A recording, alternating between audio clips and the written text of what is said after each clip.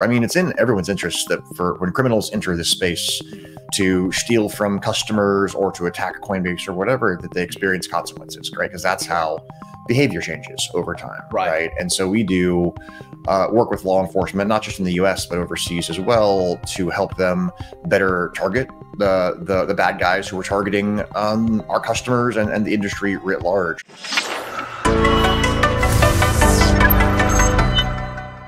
This content is brought to you by VeChain, which is a leading enterprise grade layer one public blockchain spearheading a digital revolution from a sustainable, highly scalable smart contract platform. The VeChain blockchain has many unique features, which makes it an ideal choice for Web3 applications.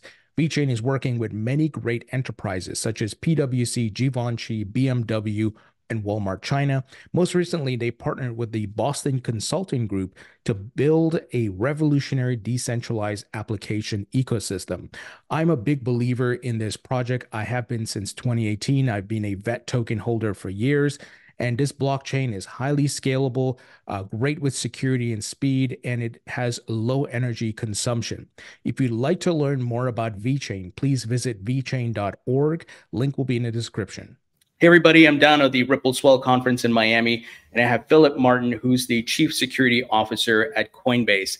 Philip, great to have you. And uh, how are you enjoying the conference so far? Yeah, happy to be here. Um, it's uh, it's a great location. Couldn't ask for better weather. Yeah, especially the week after hurricane. Thank goodness it missed Miami, right? For right, the most right. part, or it would probably be pretty rough out there. Um, but tell us about your background. You know, I, I, saw on your LinkedIn you were in the army, and how'd you end mm-hmm. up at Coinbase? Yeah, so I've been at Coinbase for about eight and a half years. Um, joined in uh, sort of the middle of 2016 and um, really ended up at Coinbase uh, because of the the fascinating security challenges that are present mm. in the crypto space, and the, the reality that you know there it's it's really really hard to to find another industry where security is so oh, yeah. critical yeah. to the success or failure of a business. As, we, as we've seen yeah. many times, many companies over the years. Oh, sure. And I mean, in Coinbase being the largest US exchange, if I'm not mistaken, I'm sure you guys are under constant attack by whether it's hackers or whatever it may be. So what are what does your security team look like? What, what are some of your yeah. initiatives? So yeah, um, you know, as of our last 10Q, I think we the number was 269 billion dollars worth of cryptocurrency at Coinbase. Wow. Wow. Uh, and that's just custodial. That doesn't count the wallet and, sure. and all the other stuff, if I recall correctly. Um, right. So we have, uh, as you might expect, a fairly large investment in security at Coinbase. The mm. the security team. So I oversee cybersecurity, physical security, and and some other stuff around uh, technology compliance and things like that. So I have about a little under 300 people in that in that overall org um, focused on security for Coinbase, which is percentage wise is is much much larger of an investment in security than most organizations make. Sure. Um, right. We're, we bounce between you know five and eight percent of the company by headcount. Um, wow. Just depends on you know who's hiring what, but right. like somewhere in that range is is normally where where we are. Sure. Um, in most places, you're talking like one percent, right, wow. or, or under one percent. Um, is is insecurity, yeah. and it's not just that, right? We we really do talk about um, especially in the early days, we, we, we, we would make the joke that Coinbase is actually a security company that just happens to do cryptocurrency um, right? right? Because there's such a focus from the top down uh, on on trust and on safety and on security and making the right decisions for our customers. Oh, absolutely. And and I uh, noticed that you guys have collaborated with the FBI and other uh, enforcement mm-hmm. uh, divisions and so forth. Tell us about that. How are you working with those? Folks? Yeah, for sure. I mean, it's in everyone's interest that for when criminals enter this space. Mm. To steal from customers or to attack Coinbase or whatever, that they mm. experience consequences, right? Because that's how behavior changes over time, right? right? And so we do uh, work with law enforcement, not just in the U.S. but overseas as well, to help them better target the the the bad guys who are targeting um, our customers and, and the industry writ large. And this is everything from, you know, helping educate them all on cryptocurrency and, the, and some of the investigative tools that are out there, as well as you know we see attacks that that that they don't because we're in a different place sure. in the ecosystem right and putting that information together for them in ways that makes it easier for them mm. to uh you know to to to investigate and to, to find bad guys ultimately hopefully to put them in jail yeah and there was a report i don't know if there's validity to this but it was in september that north korean hackers were trying to hack uh, the custodians to Bitcoin ETFs, Mhm. Coinbase being the largest at this point. Uh, is there any validity to that? Have you guys noticed anything from that? So that was the FBI report that was put out. Um, so they, they put out sort of a, a warning and guidance to, to the industry okay. um, about uh, targeting by North Korea. And uh, look, the, the reality of, is North Korea targets crypto all the time, All the- yeah. right? This was this was not like a heavy a heavy news day um, in the Sure. Coinbase security team. We're, we're well aware that North Korea is a, a very prolific actor in this space, and and and they target all the way from you know big exchanges like Coinbase all the way down to individuals that Mhm. hold crypto. Um, now, you guys are also part of the Tech Against Scams Coalition. Mm-hmm. Tell us about that. Yeah. So this is a coalition we co-founded along with, um, you know, uh, um, Meta and Match and other players in in the tech space because we saw that you know the things like pig butchering scams or you know romance scams or confidence scams they're they're they're obviously a huge problem, right? Mhm. Um, but one of the issues with them is they don't occur just on just one platform, right? There, you maybe there's maybe there's a, a, a dating app match that goes into a WhatsApp conversation that goes into Oh, yeah. maybe like a crypto investment scam or uh, or something of that nature, right? And so each of us individually, that dating app, well, what they what they see is a match occurred, Mm. a conversation happened a little bit, and then it was taken to a different platform, right? What is what does WhatsApp see? Not much because they're encrypted messenger, and then we see a a customer um, who is in fact themselves. It's not fraud. It's not anything like that Sure. giving us instructions about sending buying, buying crypto or sending it somewhere right so each Mm. each piece of that individually is very hard to stand up and say like oh that is a scam but if you look at, at the, the pattern across all the platforms you can start to say like oh that's definitely a scam right Mm. um, and so we, we brought this group together um, out of what had been a bunch of sort of you know uh, uh, bilateral conversations and sharing and sharing into really a consortium where we can come together as a as a community of, of technology platforms Mm. to share information to share to share you know what are called ttps tactics techniques and procedures that the bad guys use to scam people to coordinate on you know information sharing with law enforcement to really to to bring the whole picture together so we can Mm. combat this more effectively as a group Yeah, that absolutely makes sense. Because to your point, these things happen on multiple platforms, and they take it into DMs and all that. Uh, and it's so incredible how sophisticated it has become. absolutely Um, but that's great. To, that, that's a great correlation. Excuse me, coalition. Coalition. Can't say that. Um, now, I do want to talk about the dynamic between crypto and TradFi and Mm. illicit activity because Mhm. I don't know why. Maybe because it's new, crypto gets the sensationalized headlines, but Mhm. TD Bank can do epic money laundering. Uh-huh, but it's like business as usual. correct What is your take on that dynamic? I mean, it's not just TD Bank, right? Like Yeah. you go back, Wells Fargo had a very similar Yeah. settlement a few years back. It's just, it's just, unfortunately, in TradFi, it seems to be the cost of doing business for these for these large banks. Um, it seems crazy to say that a three billion dollar fine is cost of doing Right. business, but um, but but that's just the reality. I think it's fascinating that um, you know, crypto, obviously, you know, call it 12 years old. Well, Coinbase is 12 years old. Crypto would be 15 or so at this point if we go back to the original white paper. Sure. Um, much much newer than the, the traditional financial system, um, which which is still the criminal's sort of tool of choice when they when you talk about moving, um, you know, illicit uh, uh, funds from you know gained from bad activity, Right. moving it around, using other places. It's predominantly done in cash. The Hmm. fascinating thing to me is, you know, we released an illicit finance activity report, uh, what it was two months ago or so, where we could put a number on on the percentage. It was like I want I want to call it point point three or something percent of Mhm. transactions were were in some way related to illicit activity. Sure.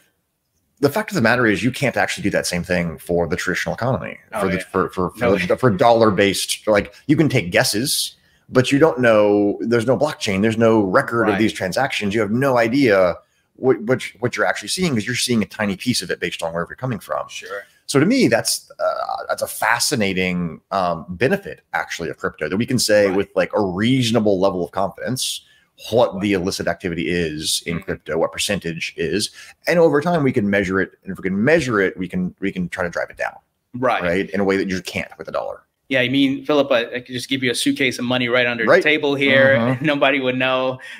right? And then Yeah. you know, there's there's the other fun thing is that is that criminals have spent a long time figuring out ways to then take that suitcase of cash and get it back into the financial system, right? Right. Through money laundering, through all sorts of things. Yeah. Um, that's a very well developed skill, Right. right? And much more so than in the the blockchain space Yeah. where there's there's no such thing as, as a suitcase of cash. You could certainly send me money on the blockchain, but like Right. everyone Everything's sees there. that. Every Yeah. it's it's all It's there. Um, and I think it's it's to me it's it's a fascinating dynamic. Mm. Yeah, and uh, I wonder if it's sometimes I wonder, you know, it's just maybe the people who don't like crypto, they Mhm. sensationalize things and they try to, you know, amp it up and make it look like it's bigger than it is. But I guess as companies like Chainalysis and these folks come out and put out, and, and you guys as well, Mhm. like reports on these things, they help educate the public, educate lawmakers, and so forth. Like it's all here, man. It's very important. And, and I mean, you, all you have to do is ask a, a law enforcement agent, hey, would you rather run a money laundering investigation in, in the in the traditional world with Right. shell companies and, and international transactions and whatever else, or would you rather run it on the blockchain? Right. And and they will largely tell you on the blockchain. Mm. It's much, much, much easier. And especially, you know, traditional money laundering, you start going between countries, it just becomes impossible. Yeah. So, so, so hard for law enforcement to walk that back. Oh yeah. So are you guys doing? And I apologize if I, if I missed this because I am a user of the Coinbase uh, platform. Thanks for being a customer. Yeah. like, are you guys doing like any educational awareness campaigns? Like, Mhm. I'm going to give you five satoshis to go through this security check to make sure you, you watch out for phishing scams. You watch Mhm. out for people asking you to send them crypto or do whatever. So we haven't done that yet, although Okay. although it's an idea we're very, very interested in. Sure. Um, we do do a lot of uh, of outreach in general, both in app and um, in more, you know, through through blogs. And Mm. we did a uh, a video recently that was aimed at at, at pig butchering, um, okay. sort yeah. of explaining the process and helping helping educate potential victims. Um, Sure. uh, we did a and and I would say just, just quick quick plug here. It's it's on our YouTube channel. It's Right. it's, it's up there for people to see. Your audience probably doesn't need to see it, is my guess. Yeah. But I bet your audience, every single person out there, knows someone who does. Does. Yeah. Right, a parent, uh, a, a Yeah. friend, uh, a, a whatever. Sure. Right, and it's so important for those of us who who, who know about this stuff Hmm. to educate potential victims because that truly is the silver bullet Right. for preventing this stuff. Yeah, spot on. Because I think to your point, most of the folks who are here are maybe considered early adopters and Mhm. they're a little more tech savvy. But I definitely have family members who are like, "What is this? I do want to in- invest, but I'm kind of scared." Yep. Twenty-four phrase seed phrase. I'm scared of that. Yep, yep. Yeah. So There's they need the on. education. Yeah. for sure. They they really really do, and so we see that as a, as a really important piece of our place in the ecosystem Mm. because the reality is when we see these these bull runs that we're hopefully about to see another one of, I'm Yeah. knocking. That's, that's probably a wood product. Um, knocking on wood there. Uh, Coinbase sees a large number of new, brand new to crypto people coming in for the first time, Sure, right? Um and that's great and like we we love the fact that that we have that level of trust and approachability and ease of use but it's also very important that we educate those people as they Yeah. enter into the crypto ecosystem Right. on like how is this different from your facebook account Mhm. how is this different from even your traditional bank accounts Right. right and how how are attackers acting in the ecosystem what do you need to be worried about what do you need to be aware of um so so so important that they get that early Mm. because that makes the scammer's job so much harder Yeah, great point. Well, I hope you credit me with the idea by giving people Yep, some yep. stablecoin Absolutely. Satoshi. Absolutely. um, what's on your roadmap? You know, what do you guys have in store for remainder of 2024 and maybe into Q1 2025?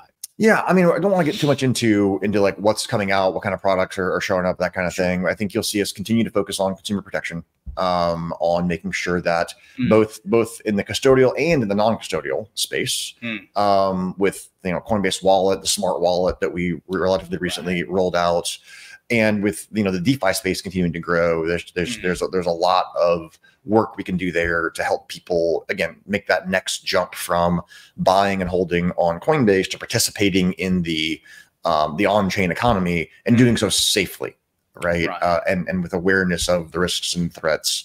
Um, we've done things like you know add uh, this was last year, but add transaction transparency to Coinbase Wallet, so you can actually see, hey, you're about to sign something. What what is this going to do, right? In in terms that humans can understand without having to figure out, read through the transaction, figure out what's in there, which the reality is not only a small percentage of crypto users can do Right. effectively.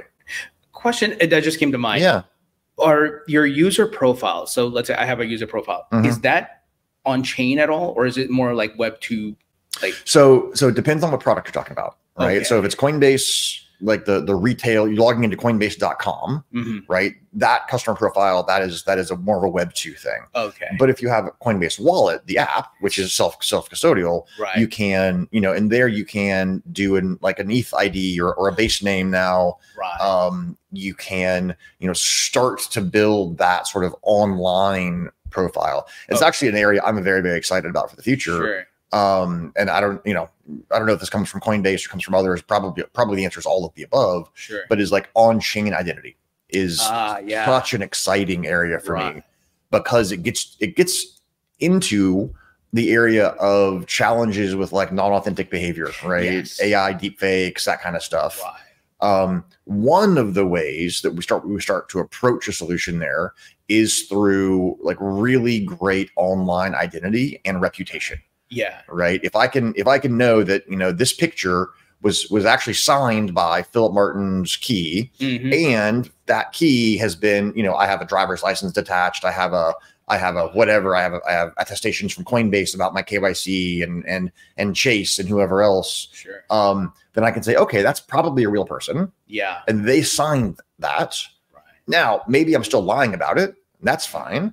But over time as that reputation builds it becomes okay you know he hasn't lied about the last 10 photographs he published this is has a higher chance of being authentic and legitimate right sure, but but the base of that ecosystem is this strong identity layer right. that we just don't have today Yeah, and I can't wait for that. Uh, and I know it's going to be a transition for many of these platforms, but Mhm. like as a content creator, I deal a lot with fake oh sure yeah, scammers you must impersonating me, DMing people, but you know, there's no dialogue box to drop down to verify. This is Tony's Yep. pro- profile. It's all verified on ETH or whatever blockchain. You know, there's nothing like that yet. and, I- I- it has it's it's one of the elements of solving this problem i Yeah. think that that has to come along Yeah, for sure.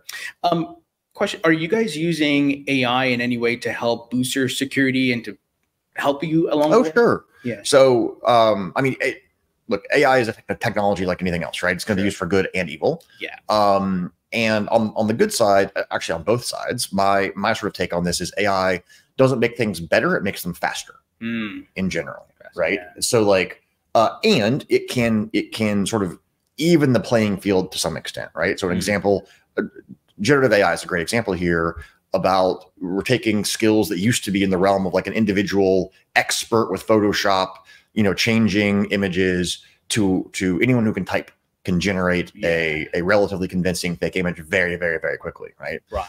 Um, on the security side, there's a lot of places where there's a benefit in making things faster and in Mm. in leveling a playing field, right? So you can level up a a relatively junior employee to Mm. to you know not an expert by any means, but you can give them suggestions. Say, hey, like I think you should probably look at this thing rather than that thing. Right. Um, there's a lot of areas where you know like, like suggestion recommendation engines are are very useful in security. There are a lot of areas where you know security has a, a data problem right? Where we have lots and lots of signals and alerts and things. How do we find the ones that really really matter Matter, right. so ai can be helpful in that area. Mm, um, ai can be helpful in you know finding bugs in code Yeah. things like that. So um, we've played around with with you know bringing ai into auditing smart contracts Oh wow. so far it's not been great but but Early phases. right? very very Yeah, early right so we sure. we've played with things like that where we believe that AI can can play a role in the future.